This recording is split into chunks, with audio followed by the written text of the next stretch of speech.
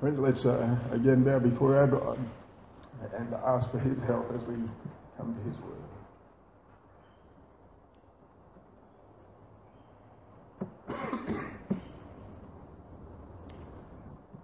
Oh God, your word declares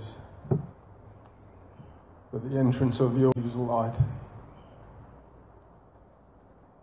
We ask, Almighty God, that as your word is preached today, that you would cause that light to shine, to shine within our minds, to shine within our hearts. That the very truths about yourself that, that we will read about again in your word this morning might come, as it were, with new light. That we might have a glimpse of you this morning that perhaps we have forgotten. A glimpse of you, Lord, that perhaps even we have not seen before. That your word would lead us to you. And that it would reveal to us something of the glory and majesty of your holy character. We pray for your help. We thank you for your goodness to us in giving us your Spirit to, to provide for us understanding into spiritual things. And we ask that He would do that for us this morning, that you would be glorified. We pray in our Saviour's name. Amen.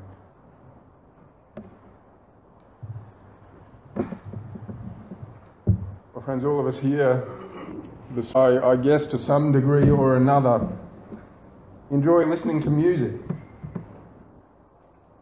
And although we may not necessarily share a common opinion about what kind of music is good music, what kind of music is, is beautiful music, I think that there would be certain songs which almost all of us would have the same opinion about.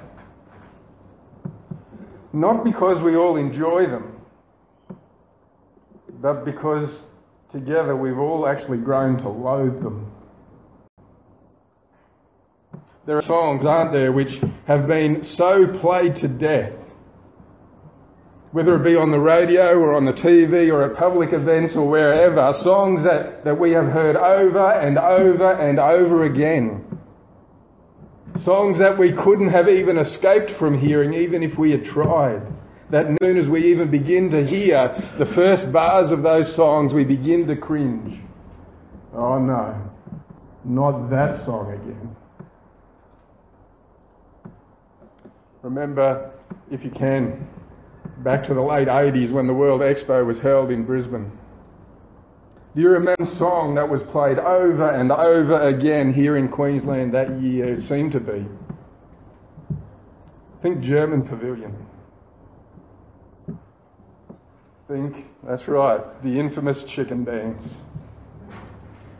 Whenever I begin to hear that tune played, cringe and I think, oh no, not that song again. Or what about in the early 90s where when a certain song by Billy Ray Cyrus seemed to be on almost every radio station? It was ubiquitous. It was everywhere. Even the ABC seemed to be playing it. You know the song.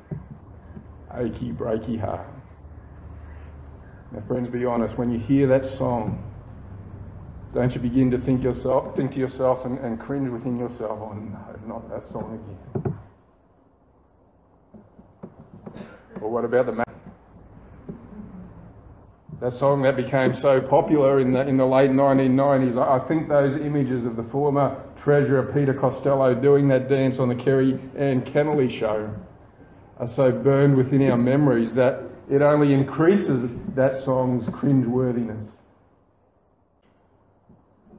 that whenever we hear it, we say again, oh no, not that song again.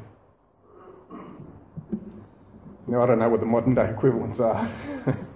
And perhaps those of you who are under 25 can add a few more recent songs to the list. But at any rate, there are songs, aren't there, that have become, that at the time became so, so popular that they were repeated over and over again until eventually we got sick of listening to them. We groaned whenever our ears have the misfortune of hearing those tunes again. And if it's possible, we do whatever we can to switch that radio or TV or whatever it is off so that our ears aren't assaulted. In a similar way, and yet we would say in a sad way, there are also a for us who are Christians, there are also a handful of Bible passages that seem to elicit a similar response in us. There are passages which we might say seem to be in the all-time top ten of, of favourite passages that preachers preach from. We've sermons preached from, from those passages many, many times before. That when the text is announced now, we say to ourselves, oh no, not that text again. Isn't that true? Is there not, in some sense, that have felt that way before? Friends, as we continue this morning this series on the character and nature of our God, we're, we're going to be turning to just such a passage. Because it's the classic passage on the attribute of God that we will be looking at. Indeed, I'm, I'm, sure that you are so familiar with this passage that all I have to do is announce its location and you will immediately know what attribute of God we will be looking at today. But before I tell you what it is, I encourage you to resist temptation to groan and switch off this morning resist that devilish suggestion that there is little left for you to learn from this passage. For though we may be very familiar with its words, there are truths here that we need reminded about frequently. Not only because we have a natural tendency to forget spiritual things, but also because we, we have a sinful tendency to often, often doubt whether God is really like this at all. What attribute of God about? Well, turn with me, please, in your Bibles to Isaiah chapter 6. So you already know, don't you, what, what attribute of God we are speaking on this morning. And we're going to be reading the first seven verses of Isaiah chapter 6.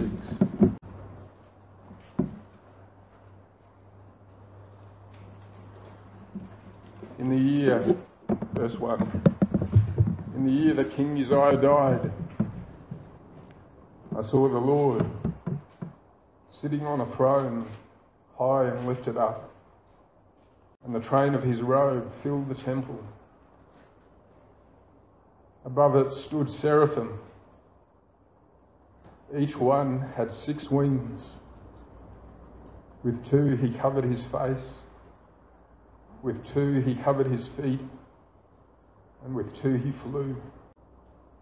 And one cried to another and said, Holy, holy, holy is the Lord of hosts. The whole earth is full of his glory. And the posts of the door were shaken by the voice of him who cried out, and that was filled with smoke. So I said, Woe is me, for I am undone because I am a man of unclean lips, and I dwell in the midst of a people of unclean lips. For my eyes have seen the King, the Lord of hosts. Then one of the seraphim flew to me, having in his hand a live coal which he had taken with the tongs from the altar. And he touched my mouth with it and said, this has touched your lips. Your iniquity is taken away, and your sin is purged. As we look at this attribute of God this morning. We're going to do it under three main headings. Firstly, I want us to see the of God's holiness, the gravity of His holiness. Secondly, the purity of His holiness. And thirdly, the necessity of God's holiness. Firstly, the gravity of His holiness.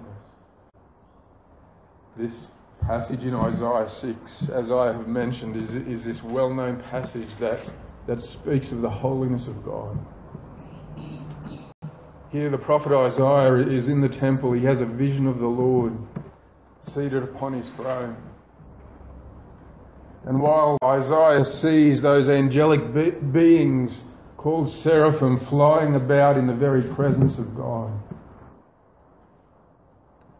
and as they fly, he hears the sound of them crying to one another, Holy, holy, holy is the Lord of hosts. The earth is filled with his glory. The as reminiscent of, of, of, something that we read about also in the, in the book of Revelation in, in chapter 4. There, the apostle, apostle John witnesses a similar scene as four living creatures around the throne of God cry out to one another with an almost identical refrain Holy, holy, holy, Lord God Almighty, who was and who is and who is to come. Of course, these aren't the only passages which, which talk about the holiness of God. And we'll be looking at, at some of those other passages later on this morning, but we, we might well say that in fact the scriptures, in the scriptures, God emphasizes His holiness more than any attribute of His character. Nowhere else in the Bible do we see God speaking about his perfections in this threefold way as he does in Revelation 4 and here in Isaiah 6. Though in this series we have looked at an, uh, of the attributes of God already, nowhere yet have we seen God declaring that he is wise, wise, wise. Nowhere have we seen him declare that he is omnipotent, omnipotent, omnipotent, or immutable, immutable, immutable. We will not see anywhere in the scriptures him himself as love, love, love, or mercy, mercy, mercy, but we do see him on more than one occasion declaring himself to be holy, holy, holy. It's an attribute of his nature which himself seems to place special emphasis upon. And that is in part why, in part why I've entitled this first section, The Gravity of God's Holiness. It's of crucial importance if we are to rightly understand who God is, that we understand that He is a holy God. It requires our, our, our serious attention, our, our serious thought because it is that, that attribute of God which He Himself gives special attention to. But what does that word mean?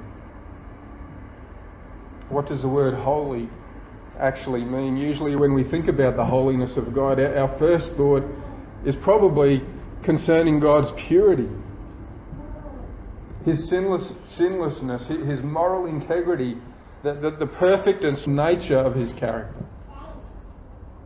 And while that is true, and we will look at that shortly, it, it is not the chief sense of the word holy. For the word holy at the very root of its meaning refers to that which is separate, to that which is set apart, distinct from everything else around it. The word holy is used this way in the Bible perhaps more than we realize. Think, for example, about the various utensils and furniture that were, that were used in the tabernacle or in the temple. They were often described, weren't they, as holy. In Exodus 40, verses 9 and 10, Moses was told to anoint the tabernacle and all that is in it. You shall hallow it and all its utensils, and it shall be holy.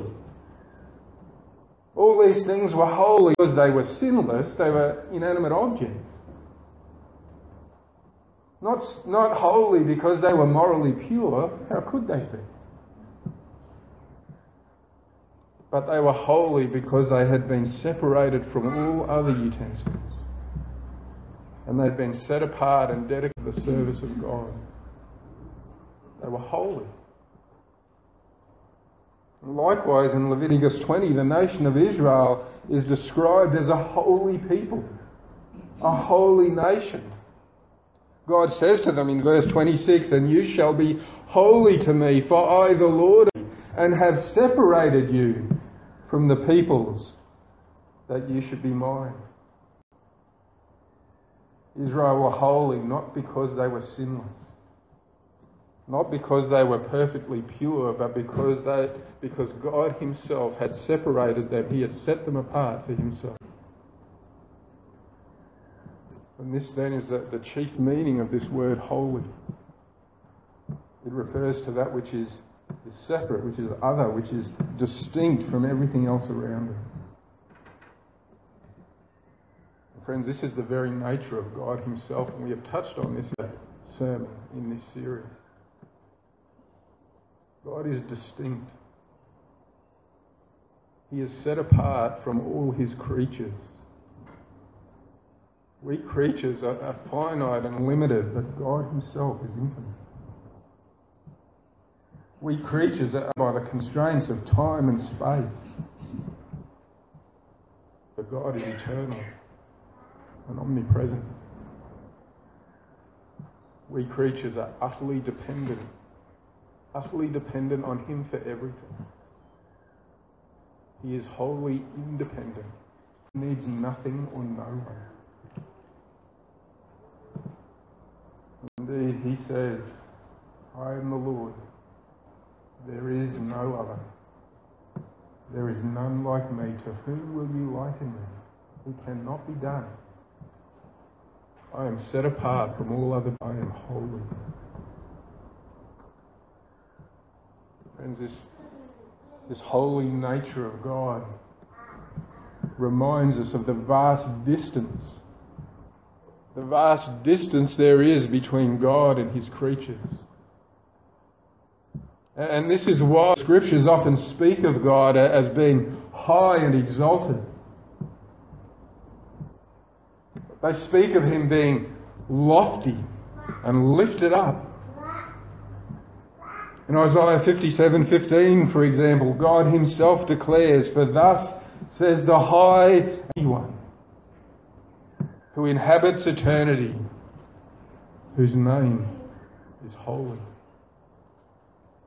I dwell in the high and holy place. In fact, this is the very first thing that Isaiah describes about. He sees this vision of him here in Isaiah 6, isn't it? Look at, look at the passage again. Isaiah 6, verse 1. In the year that King Uzziah died, I saw the Lord sitting on a throne, high and lifted up. God's holiness means that, that there is a tremendous distance, as it were, between creator and creature. He is remote. He is, we might even say, aloof. He is far off. Indeed, the very holiness of God means that for the creature, God is inaccessible. He is unapproachable.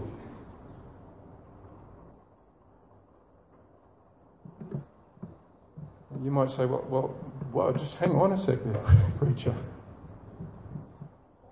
You just overstepped the mark. Don't you that you've gone too far in talking about God's holiness? How can you say that God is unapproachable?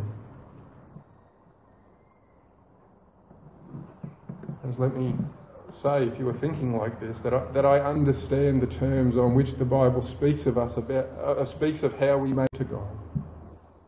That we can do it only through the Lord Jesus Christ. And I have more to say about that later. But let us never forget. Let us never forget the bare, naked reality of which to speak. 1 Timothy 6 16 says that God dwells in unapproachable light. And no man has seen or can see. Indeed, the mere in his creatureliness cannot approach God. He dare not approach God. For God is holy. He is so holy, He is so set apart, He is so majestic in His being that to draw near to the unveiled glory of God in our creatureliness would result in instant death for that creature.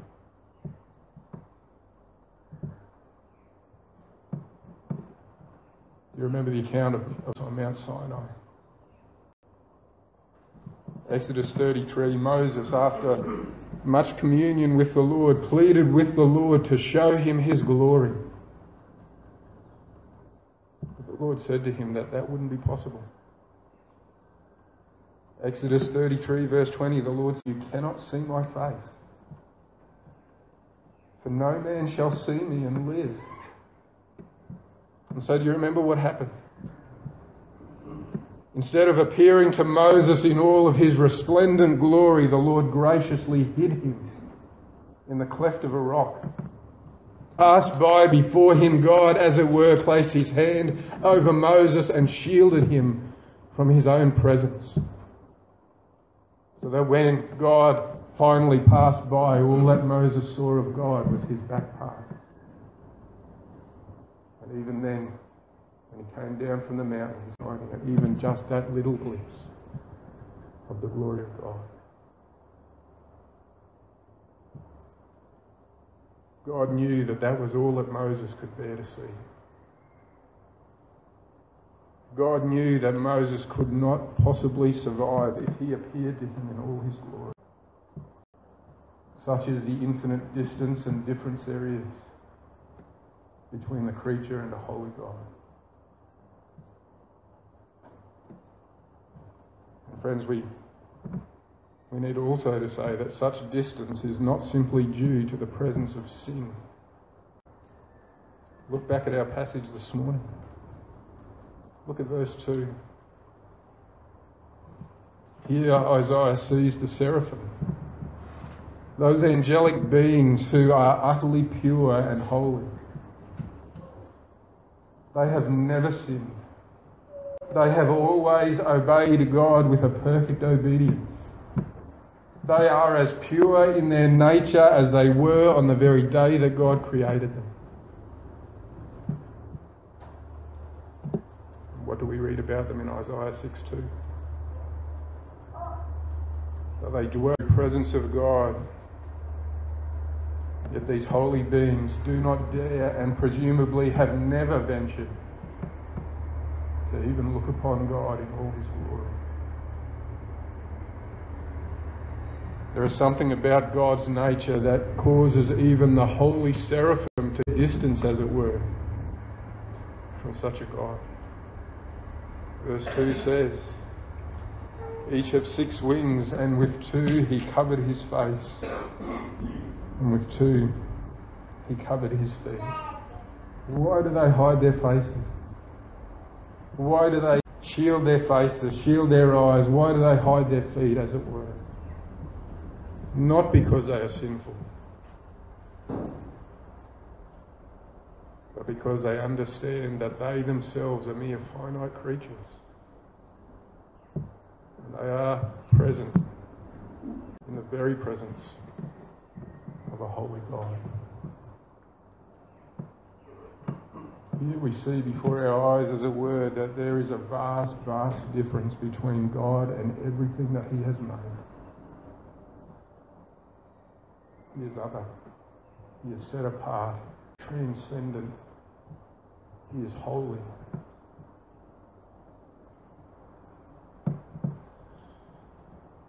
And what can we say by way of application? We can say many things. Whatever might be said, it all ultimately comes back to this that God must be worshipped. God must be worshipped. Because of who He is, God deserves to receive our highest acclaim. As the holy God, the God who is trans majestic and incomprehensibly glorious, He is worthy. Indeed, He is far above and beyond worthy of our soul's deepest veneration and praise. We must worship Him. We must worship Him alone. But, but, brethren, even more than that, we must have a right conception, a right remembrance of who God is as we worship Him when we as the Lord's people gather together, for example in this context of public worship, or, or even when we gather together in the context of public prayer, we must remember that we are worshipping, that we are addressing a holy God. And that holy God, that holy God, is actually present with us.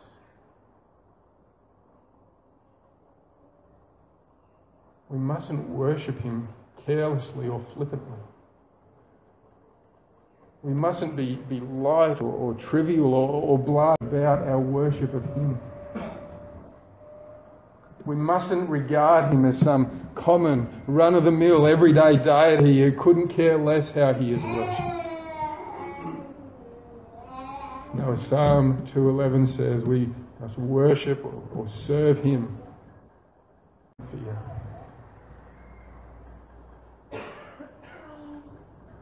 No doubt you remember the account of Nadab and Abihu in Leviticus 10. And turn with me there now, Leviticus 10. The priestly sons of Aaron entered into the very presence of God. And there they, they offered strange fire which the Lord Himself had not commanded. And fire came out from the very presence of God and devoured them both. Now, what the Lord Himself said to Moses after that. Leviticus 10, verse 1. Then Nadab and Abihu, the sons of Aaron, each took his censer and put fire in it, put incense on it and offered fire before the Lord which he had not commanded them. So fire went out from the Lord and devoured them, and they died before the Lord. And Moses said to Aaron, This is what the Lord spoke, saying, By those who come near, I must be regarded as holy, and before all the people, I must be glorified. Brethren, for most of us, the regular gathering for worship each Lord's Day is part of our weekly routine and right. But may God keep us. May God keep us from treating it as a mundane, as a common, trivial, or even worldly occasion. It is not that. It is not that at all. May God help us to regard Him rightly,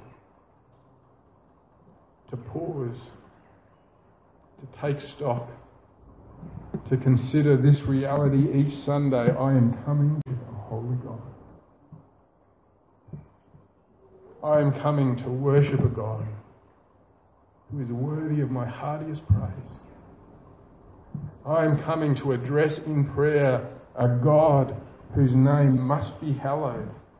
Our Father, who art in heaven, hallowed. I am coming to hear the God who demands that he must be heard, that he must be obeyed. I'm coming into the very presence of God, the God who is infinitely holy and who demands that he be regarded as such when he is worshipped. As do we come with a sense of the gravity of God's holiness.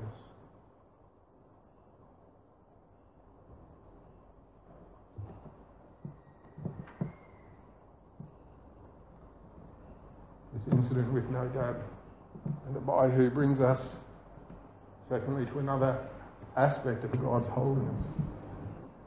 And it is, it is, this aspect of God, which, as I said before, is, is the one that we most often think about when we think of Him as a holy God. In the Scriptures, not only does the word holy mean set apart or separated, but in a narrower sense, he, the word holy means that God is pure, that He is clean, that He is spotless and perfect in righteousness. In short, to say that God is holy means that He is separated from all sin. So, having looked at the gravity of God's holiness, let's come in the second place to look at the purity of holiness. In Habakkuk 1.13, for example, we read, You are of purer eyes than to behold evil, and cannot look on wickedness. That is, you cannot look upon wickedness with a.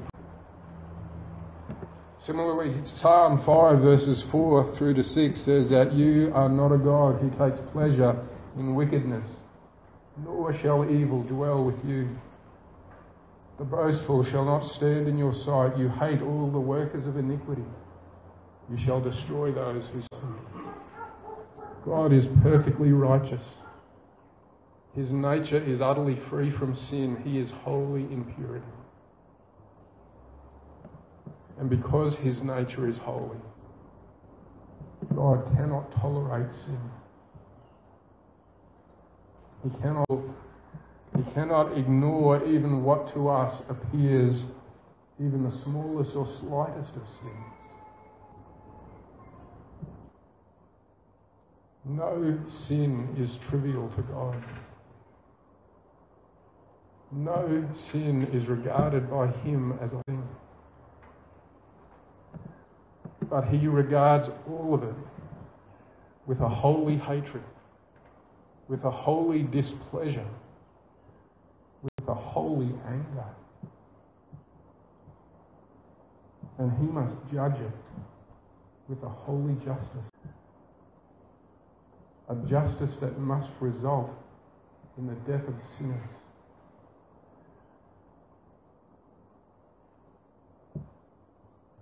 Remember Nadab and Abihu? The one time worshipped God in the way that he had not appointed ended in God consuming them with fire.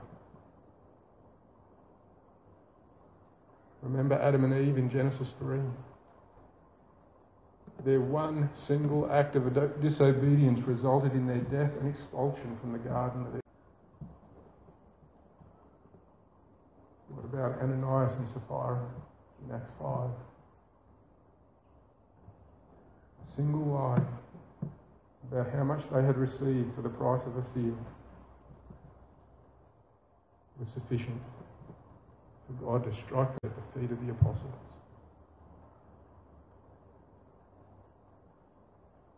What about Uzzah? 2 Samuel chapter 6, turn with me to this passage. Maybe you're not familiar with this passage.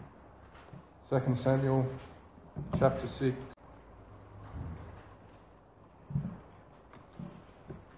It describes the account for us of the return of the ark of God from the Philistines. King David had, had ordered the ark to be put on a cart and, and, and carried by oxen back to and thousands of Israelites were walking along beside it, worshipping and praising God as it went along. The ark was back among the people of God. And suddenly, amidst all of that commotion, it appeared as though the ark was to fall from its car. What happened? Look at verse 6 when they came to Nachon's threshing floor. Uzzah put out his hand to the ark of God and took hold of it and stumbled. Then the anger of the Lord was aroused against Uzzah, and God struck him there for his error. And he died there by the ark of God. Now, Uzzah seemed to have the very best of intentions in doing what he did. He didn't want God to be dishonoured. He thought by letting the ark fall off the cart and into the dirt. But God had stipulated he had stipulated in his law that no one, no one was to touch that ark. No one was to touch the ark of his presence. Uzzah disobeyed and was instantly struck down dead by God for his sin.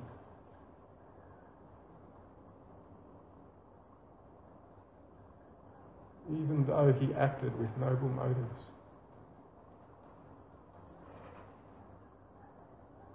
Brethren, what is the reaction of your heart when you hear this account? What is the reaction in your heart when we hear, when you hear of those other accounts that I mentioned earlier? By our own standards, God's actions seem cruel. They seem far too harsh and drastic. His justice appears, at least to our minds, to be excessive, to be way over the top in terms of its, of its fairness and, and of its appropriateness. But, friends, why do we think like that? In all honesty, friends, we think like that because we do not take sin, even our own sin, all that seriously. We do not really believe that our sin does kind of judgment. We do not really believe that our sin deserves that kind of justice that was meted out to Nadab and Abihu, to Ananias and Sapphira, and to Uzzah. Yes, we know that God is merciful, and He is. Yes, we know that He is long suffering and patient, and that He is forgiving. He is all those things, yes. But all of this does not mean for a single moment that God can or overlooks or ignores even the least of our sins. And the reality is, brethren, that in the justice of God, we deserve to be treated in the same way as each of those other men were.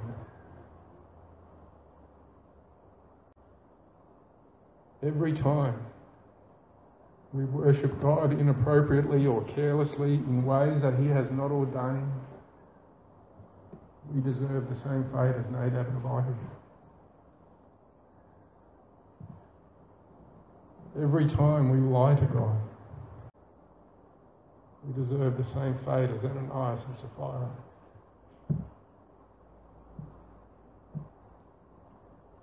Every time we disobey God, even though we may have the best of intentions, we just struck down like Uzzah.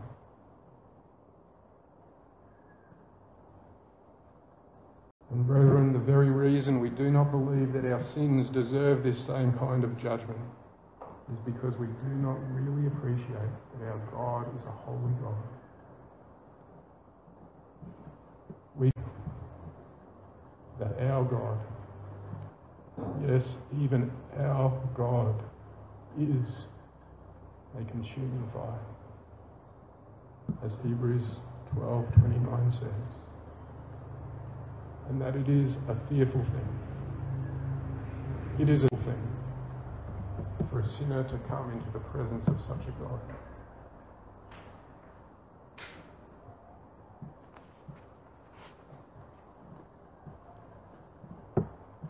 Prophet Isaiah understood that firsthand, didn't he?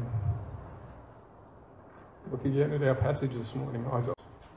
What do we read in verse 5? Isaiah 6, verse 5.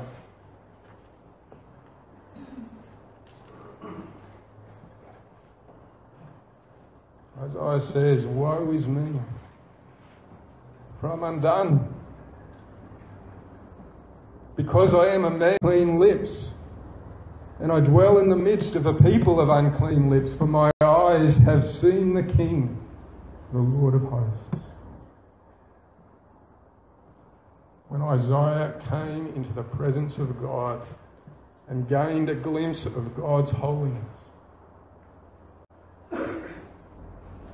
very suddenly became deeply conscious of his own sinfulness. Dread filled his heart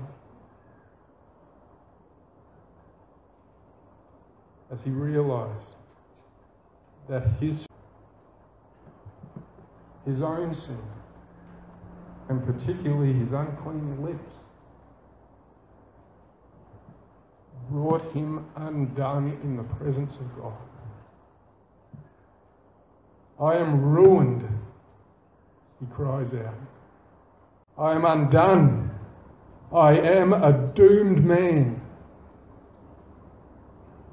As a sinful creature, I cannot bear to stand in the presence of such a holy God. Friends, notice also that in the midst of all this, Isaiah is actually proclaiming God's judgment upon himself. Woe is me! Woe is me! As a prophet of God, he would announce God's judgment upon many nations and woe to you, Jerusalem! Woe to you, Assyria! Woe to you who go down to Egypt! Woe to you who call evil good and good, and good evil.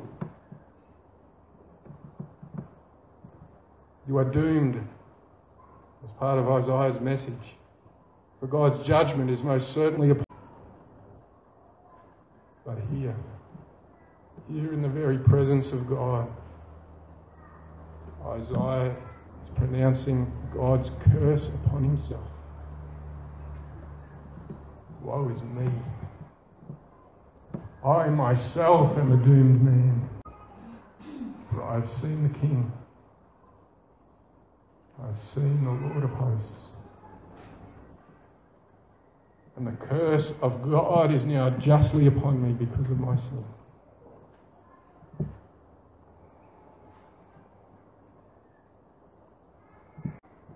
Friends, this scene reminds us that there is a day coming when everyone who has ever lived, all of us, will appear before the judgment seat of God. 2 Corinthians 10 says that we must all appear before the judgment seat of Christ. Romans 14 similarly says that we shall all stand before the judgment seat of Christ, for it is written, As I live, says the Lord, every knee shall bow to me, and every tongue shall confess to God. And each of us will give an account of himself to God. On that day, the Lord Jesus Christ will summon every individual to appear before him. Everything will be revealed. Nothing will be hidden. The secrets of sinful hearts will be laid bare before the sight of him whose eyes are like flaming fire and who can see into the deepest recesses of our heart. Those that appear before him on that day, as sinful creatures, like Isaiah, will suddenly become deeply conscious of their sin in a way that they have never had, never have before. And abject terror will fill their hearts and souls.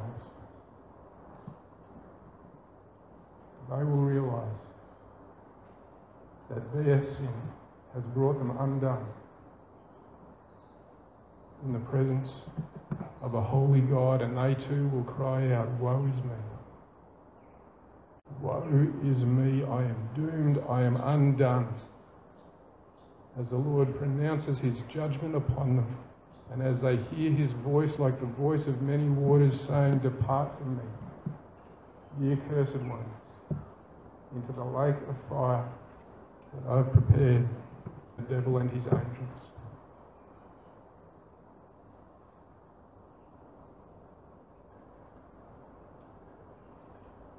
Friends, that day is coming. That day is coming quickly. Are you to stand before such a God as this?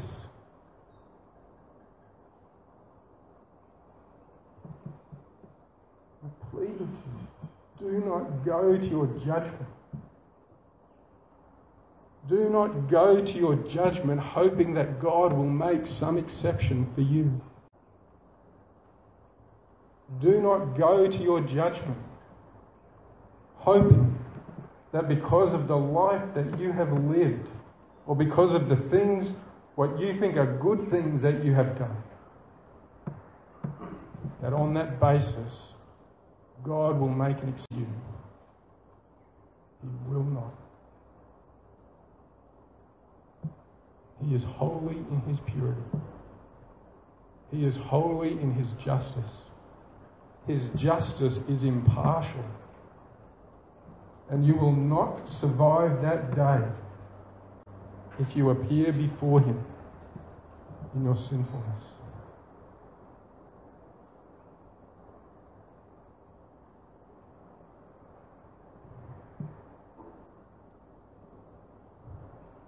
My folks, if anyone is ever to endure the final judgment of God, and it comes not by hoping that we ourselves will be clean enough for God,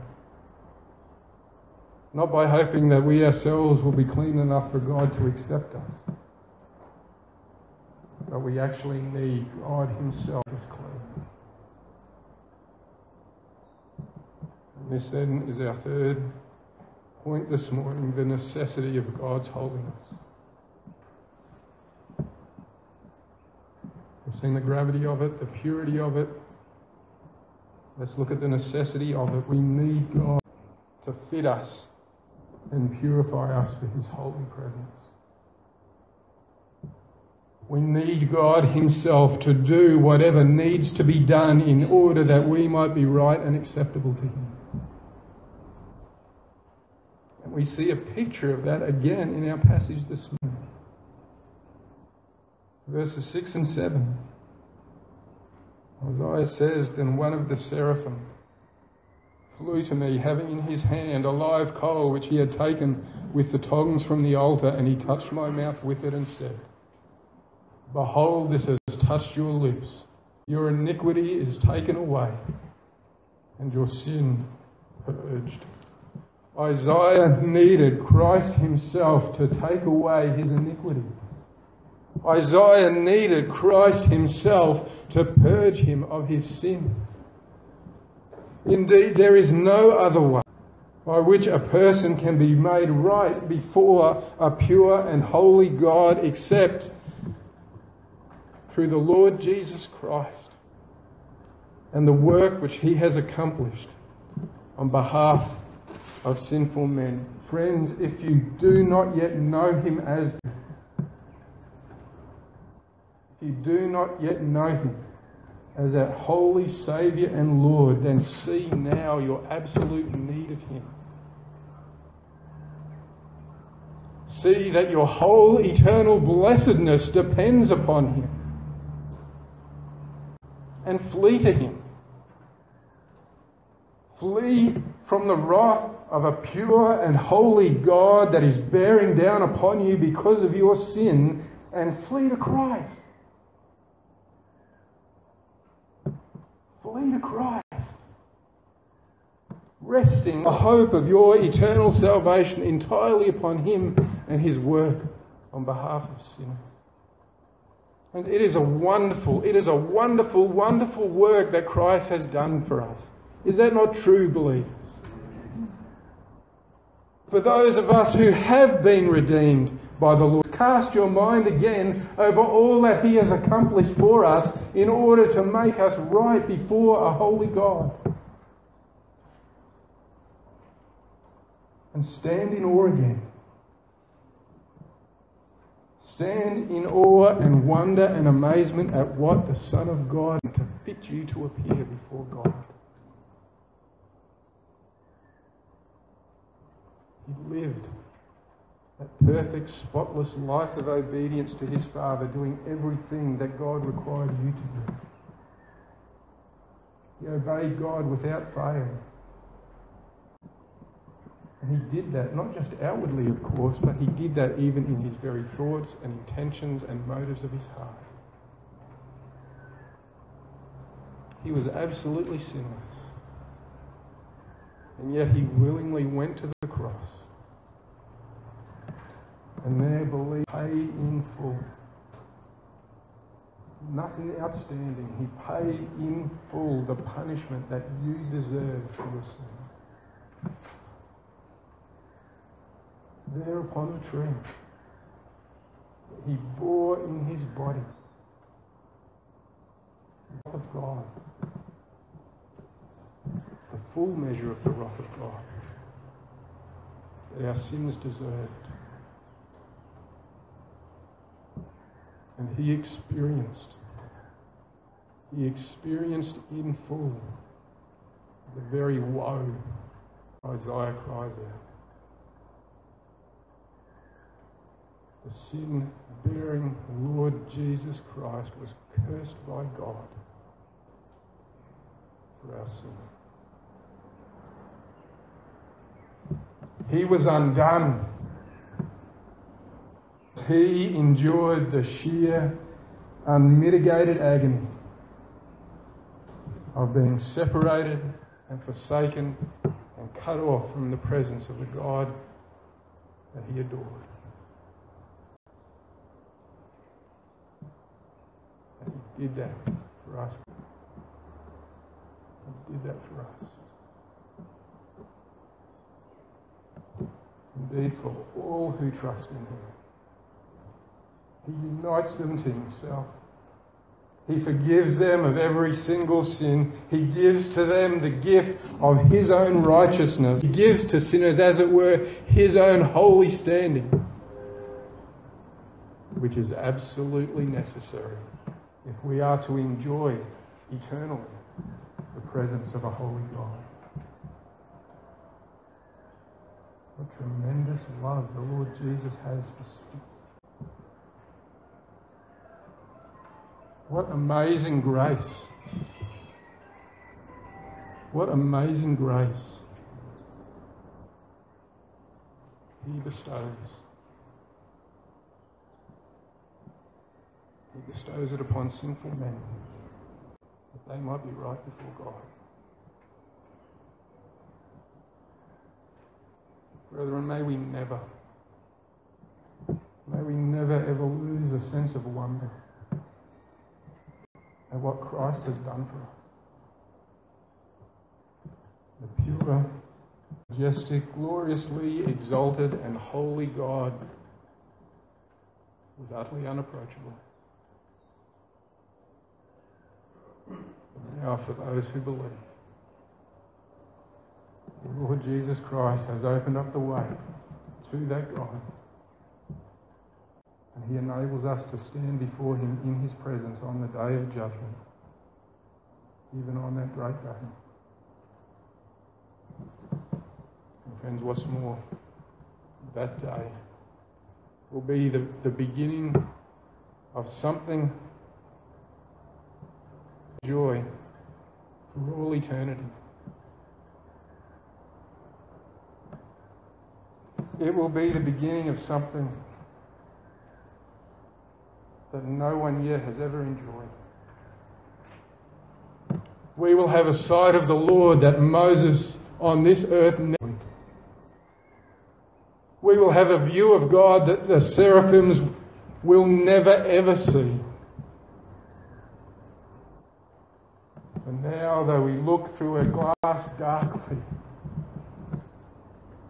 yet on that day we will see our God and Saviour face to face. Face to face. And when he appears, we shall be holy like him, for we shall see him as he is. And we will enjoy the blessedness of his presence forever and ever. What a glorious future awaits God's people. To be able to live in the very presence of the Holy God for all eternity. What a gloriously unspeakable privilege that is.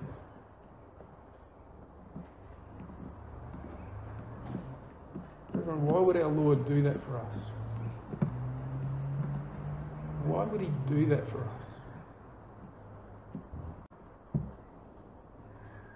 There's many reasons.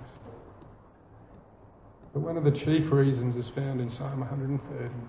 Please turn with me there as we close.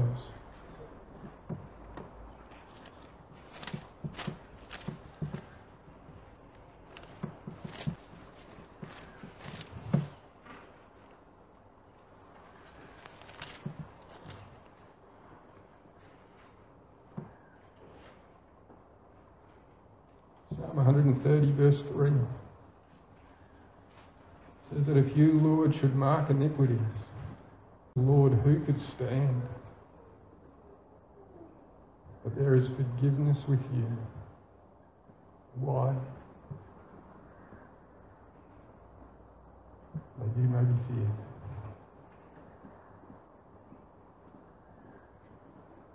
That you may be feared. The Lord forgives us, friends, and fits us to stand before a holy God, not that we might become blasé or careless about our conduct before Him, not that we might take His grace for granted, not that we might regard our relationship with Him as some trivial or insignificant thing, but He does it in order that we might fear Him that we might revere him and regard him as holy all the more.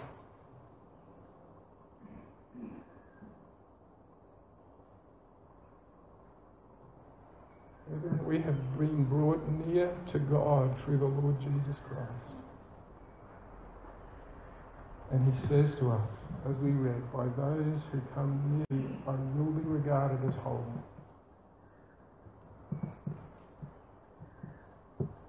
And surely we who have been forgiven ought to be.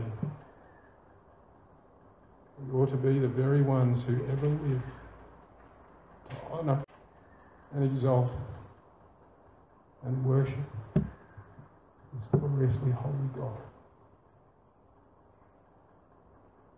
May God, by His Spirit, help us to do that. Oh, Almighty God.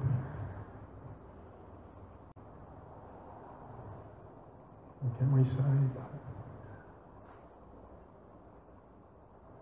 thank you. Thank you, our God, for what you have done for us. What you have done for us in the person of your Son,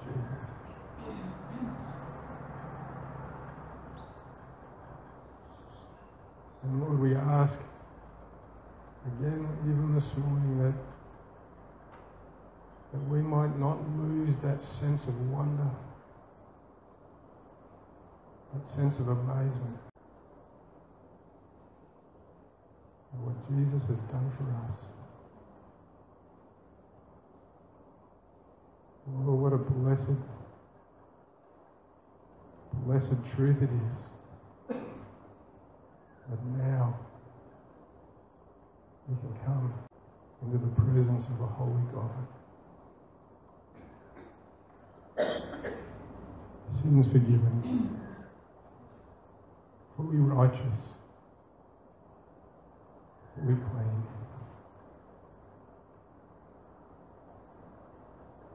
Lord, may the real that truth of those truths. Stir our hearts to do as your word says, to fear you more, worship you to give to you reverence and honor and acclaim that you deserve. Help us to that end, we pray, for the sake of our Savior, the Lord Jesus. His name. Amen.